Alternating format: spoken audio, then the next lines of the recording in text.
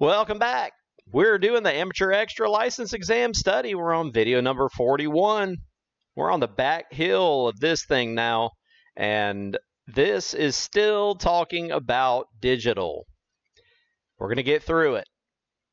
Why are received spread spectrum signals resistant to interference? That is because spread spectrum signals not using the spread spectrum algorithm are suppressed in the receiver. Spread spectrum takes your signal and spreads it out. And there are two main ways that you spread these out. And it goes, uh, there's a sequential and then there's a pseudo-random. Now, pseudo-random means that it's sort of random. It's not quite random. It is predetermined uh, in the receiver and the transmitter. So receive spread spectrum signals, they're resistant to interference because whatever interference, the signals just don't make it through because they're not part of it. So what spread spectrum communications technique uses a high-speed binary bit stream to shift the phase of an RF carrier. And this is a direct sequence. So the binary bit stream is a direct sequence. This is the one that goes in order,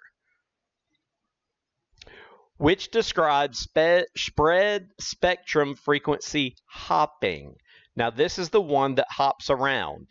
It's a pseudo-random sequence, so it rapidly varies the frequency of a transmitted signal according to a pseudo-random sequence. Pseudo means sorta, and random of eh, random is random. You know, if you were to roll dice, that's random. Pseudo random is if you know what the order is coming, but it looks random. What is the primary effect of extremely short rise or fall time on a CW signal? The primary effect is the generation of key clicks.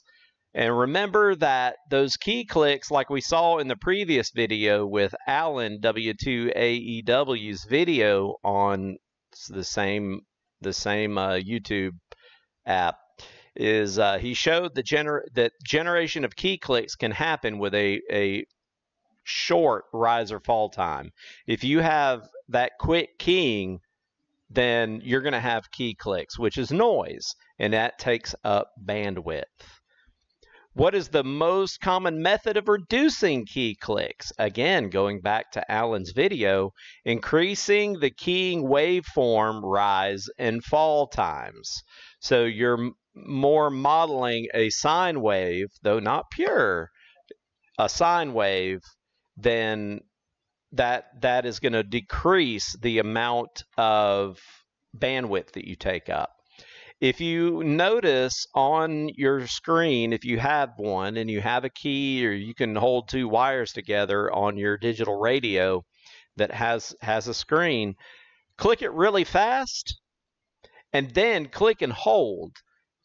Supposedly, the pure sine wave has almost has no bandwidth. It's it's counterintuitive, and if you Google all that, you might find where I read that somewhere uh, the sine wave itself doesn't take up any bandwidth. So in, increasing the keying waveform rise and fall times is a way to reduce those key clicks. What is the advantage of including parity bits in ASCII characters? Now, if you've never looked at an ASCII chart, they're pretty interesting. And if you add parity, then some types of errors can be detected. Not all errors, but some errors. So I, I got some uh, some some examples here. This one by far was the best. And you have a sequence of seven bits, and that is your ASCII. The last bit, or your eighth bit, can either be an even parity or an odd parity. So now you know some of those settings that you have when you're trying to communicate with a radio, they're detecting errors when you have an even or odd parity. If you notice for even parity, if there are two bits that are true, then even parity is going to give you a zero at the end. And odd parity is going to give you a 1 at the end. Look at this one where there's only one true bit. E even parity is going to give you an odd number because now there's an odd number. And odd parity is backwards. So it's if there's only one, then it's going to give you an even if there's only one. So back to the question, some types of errors can be detected. What is a common cause of overmodulation in AFSK signals? I have been told this. Uh, somebody was was was communicating. I was chasing a Parks on the air. They messaged me on Twitter, and I'm glad they did. The the AF on my radio, the audio coming into the radio from the computer was just too hot.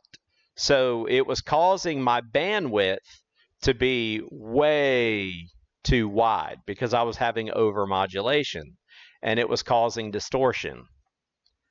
So what parameter evaluates distortion of an AFSK signal caused by excessive input uh, audio levels? And that is intermodulation distortion. And that is not a good thing. Not a good thing. So what I did is I went and I looked at my AF monitor and I adjusted the incoming audio and got it inside of the pig pen so it didn't peak outside of the pig pen. Uh, that that reduced it, the signal width of my uh, I don't remember if it was PSK it was something that that he definitely knew what the bandwidth was supposed to be and then I fixed it and it was much better after that. What is considered an acceptable maximum IMD level for an idling PSK signal? And that is negative 30 decibels. And you can go read about the role of IMD, intermodulation distortion, based on uh, PSK. And you can just see that uh, idling around negative 30 decibels is a good report. If it is around 20 or 10, that is awful. Do I know what that means? Heck no. What are some of the differences between the Baudot digital code and ASCII? So I'll tell you that Baudot only uses five data bits per character and ASCII uses seven.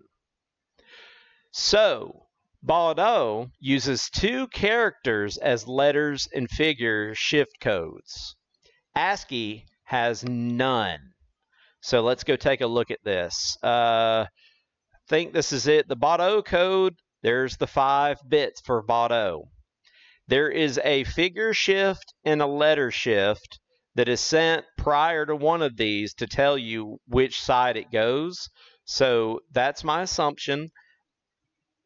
Check this out. Here's the ASCII. And you can send so much more with ASCII because it has more binary code to it. And one of the advantages of that is in in the ASCII you can send uppercase and lowercase, whereas in Baudot it's only uppercase. Oh, look, that's the next question. How about that? So five data bits, seven data bits. Baudot has two characters for your letter and figure shift codes. ASCII does not have that. So ASCII has has more room for more characters. What is one advantage of using ASCII code for data transmission? Oh my goodness, I just did this. Uh, it's uh, possible to transmit both uppercase and lowercase text if you're using ASCII characters, ASCII code.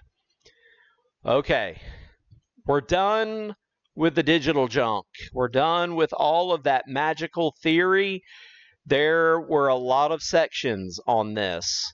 So have fun with the study. Do your best. Take a practice test. You know, there's some great websites out there where you can take practice tests. Maybe one day I'll make my own and add it to the Ham Test Trivia site. Uh, not right now, not my goal. But hey, come on back. We got about nine more. I think it gets easier after this. I think. If if I think I know what's coming up, it gets easier. The rest of this should be a piece of cake. All right. We'll catch you on the next one. I'm W1RCP 73.